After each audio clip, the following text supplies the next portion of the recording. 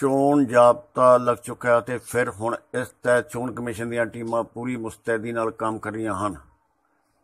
ਇਸ ਦਰਮਿਆਨ ਜ਼ਿਲ੍ਹਾ ਗੁਰਦਾਸਪੁਰ ਵਿੱਚ ਇੱਕ ਟਰੱਕ ਜ਼ਬਤ ਕੀਤਾ ਗਿਆ ਹੈ, ਜਿਸ ਵਿੱਚ ਕਣਕ ਭਰੀ ਹੋਈ ਸੀ ਅਤੇ ਚੋਣ ਜਾਬਤਾ ਲੱਗਣ ਤੋਂ ਬਾਅਦ ਵੀ ਇਸ ਨੂੰ ਵੰਡਿਆ ਜਾ ਰਿਹਾ ਸੀ।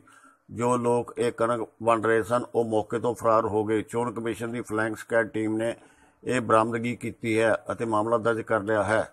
ਗੁਰਦਾਸਪੁਰ ਤੋਂ ਸੰਜੇ ਸੈਣੀ ਦੀ report.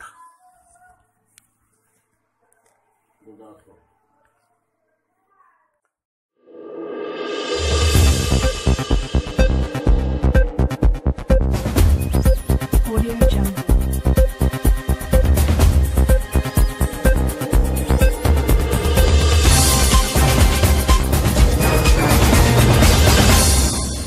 Audio Jungle.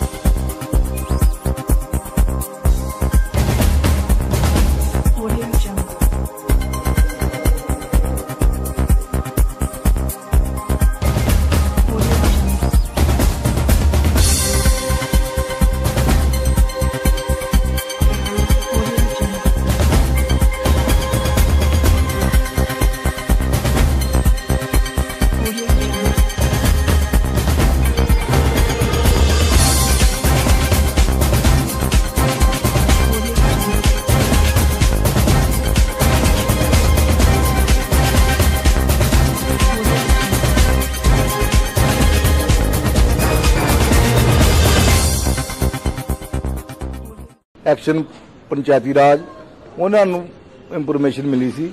ਅਸੀਂ ਬਤੌਰ ਸਿਕਿਉਰਿਟੀ ਉਹਨਾਂ ਦੇ ਨਾਲ ਫਲੈਂਗ ਸਕਾਡ ਟੀਮ ਵਿੱਚ team number 2 flying squad Gurdaspur, duty ਸਾਡੀ ਚੋਣਾਂ ਦੇ ਸੰਬੰਧ 'ਚ ਲੱਗੀ ਸੀ। ਅਸੀਂ ਨਾਲ ਜਾ ਗਏ ਸੀ ਤੇ ਮੌਕੇ ਤੇ ਉੱਥੇ ਟਰੱਕ ਦੇ ਲੋਕ ਜਿਹੜੇ ਸੀ ਇਕੱਠੇ ਸੀ ਤੇ ਦੋਸ਼ੀਆਂ ਜਿਹੜੇ ਸੀ ਉਹ ਆਪਣਾ ਛੱਡ ਕੇ ਪੁਲਿਸ ਪਾਰਟੀ ਨੂੰ ਵੇਖ ਕੇ ਦੌੜ ਪਏ ਤੇ ਟਰੱਕ ਤੇ ਆਪਣਾ ਲੋਡ ਟਰੱਕ ਵਿੱਚ ਲੋਡ ਬੋਰੀਆਂ ਕਣਕ ਦੀਆਂ ਛੱਡ ਕੇ ਦੌੜ ਗਏ ਕੀ ਕਰ ਰਹੇ ਸੀ ਉਸੇ ਹਾਂਜੀ? ਕੀ ਕਰ ਰਹੇ ਸੀ ਕਣਕ ਵੰਡਾਂ ਕਣਕ ਵੰਡ ਹੋਏ ਸੀ। ਕਿਹੜੀ ਕਣਕ ਵੰਡ ਰਹੀ ਸੀ ਕਣਕ ਦੇ ਪੰਜਾਬ ਸਰਕਾਰ ਦੀ ਮੋਹਰ ਲੱਗੀ ਸੀ ਉਹਦੇ ਉੱਪਰ ਲਿਖਿਆ ਸੀ ਬੋਰੀਆਂ ਤੇ ਤੇ ਉਹ ਬੋਰੀਆਂ ਸੀ ਕਣਕ ਦੀਆਂ। ਕੀ ਕਾਰਵਾਈ ਕੀਤੀ ਭਾਜੀ ਤੇ ਉਹਨੂੰ ਚੋਣ ਕਮਿਸ਼ਨ ਨੇ ਹਦਾਇਤਾਂ ਮੁਤਾਬਕ ਆਪਣੇ ਟਰੱਕ ਨੂੰ ਕਬਜ਼ਾ ਪੁਲਿਸ ਵਿੱਚ ਲਿਆ ਤੇ ਬੋਰੀਆਂ ਨੂੰ ਜਿਹੜਾ ਵੀ ਉਹਨਾਂ ਨੂੰ ਕਬਜ਼ਾ ਪੁਲਿਸ ਵਿੱਚ ਲੈ ਗਏ। ਮੁਕੱਦਮਾ number 2 4 1 17 under section 171 B IPC ਮੁਕੱਦਮਾ ਦਰਜ ਕੀਤਾ ਗਿਆ।